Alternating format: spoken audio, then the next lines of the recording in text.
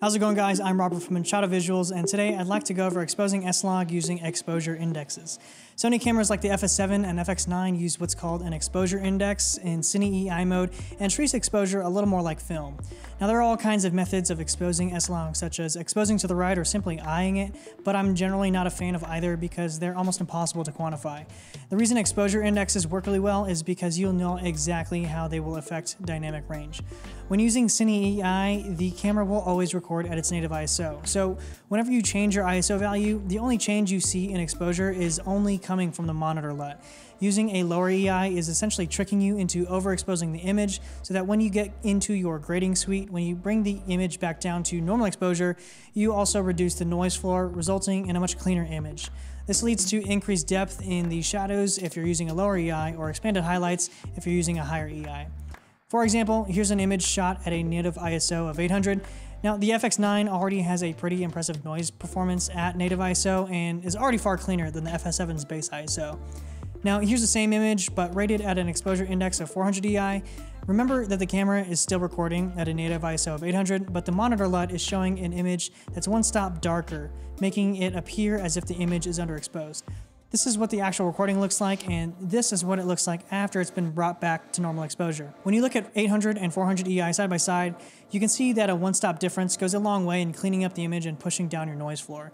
Going even further, here's an example shot at 200 EI, or two stops overexposed. At this point, noise is practically non-existent, blacks are straight up black, and the image is exceptionally clean.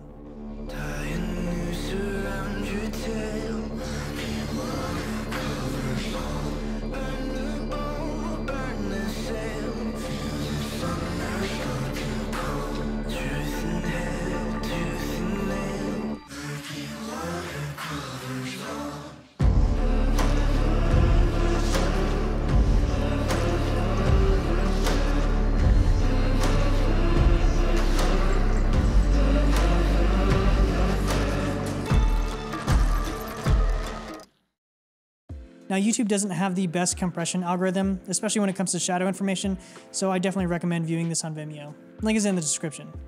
One important thing to note is that there's never free lunch, so whenever you dig deeper into your shadow's dynamic range, you do this at the expense of your highlights. At native ISO, S-Log3 gives around 6 stops of highlight detail and 8 stops of shadow detail. Using an exposure index of 400 loses 1 stop of highlight information, while 200 EI loses 2 stops of highlight information. This is traditionally how ISO works, which is a little bit counterintuitive. Normally, if your image is too bright and you want to darken the image, you would normally lower your ISO, but that just redistributes where middle gray lies, reducing your highlight latitude.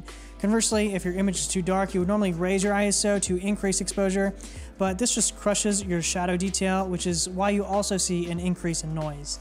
One of the best examples of this is shown in the Blackmagic Pocket cameras. In the manual, Blackmagic shows how ISO affects dynamic range. The lower the ISO, the more dynamic range you'll have in the shadows, while the higher the ISO, the more highlight information you'll have. At the end of the day, a lot of it comes down to latitude.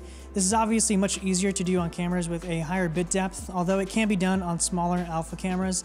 A lot of people complain about 8-bit cameras not having enough latitude when shooting S-Log, but I've done this plenty of times on mirrorless bodies.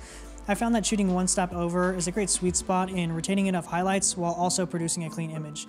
Granted, it doesn't leave you with a lot of room for pushing and pulling in post, but it definitely can be done, especially when recorded with an Atomos recorder. I always recommend going down in exposure index from your base ISO. The only time I would use a higher exposure index is if I'm trying to maximize highlights and don't have a lot of shadows in the scene.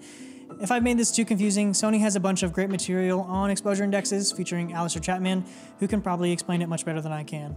I'll leave some references down in the description. Now, if you need help with exposing S-Log, be sure to buy my cinematic LUT pack. Just kidding, I'll never sell a LUT pack.